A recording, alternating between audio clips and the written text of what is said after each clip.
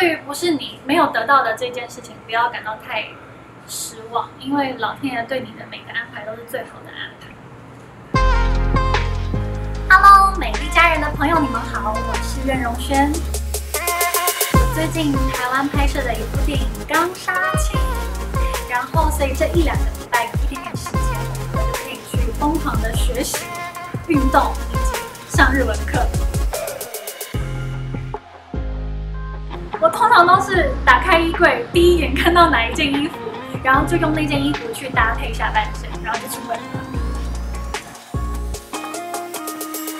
我最近很喜欢走高腰路线，高腰的下半身配上短版上衣，